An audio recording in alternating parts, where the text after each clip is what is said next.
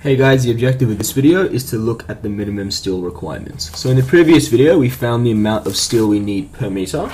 We saw that we needed 497 millimeters squared per meter.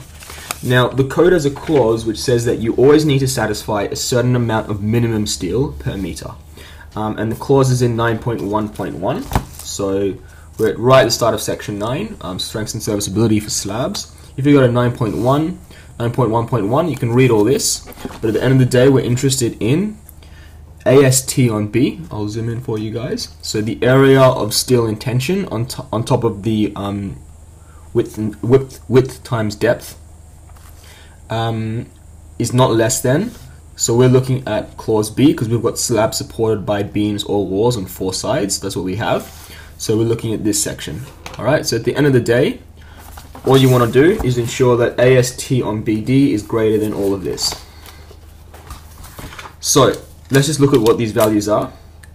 Once again, because we're doing this all for a meter width, so if I just draw a quick schematic of our slab, so we have something like this.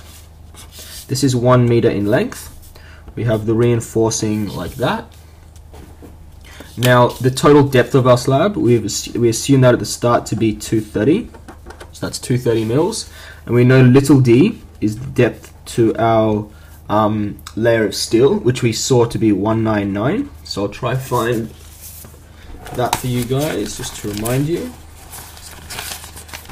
So we saw that in one of the previous videos. There's a little picture. So 230 and 199. So that is that little drawing there. And now we're looking at one meter in width. So I'm just going to start well, actually, before I sub in the values, we just need to find one more value. We need to find this fct.f. So fct.f dash equals. So you get this from right at the start of the standard. So this is the um the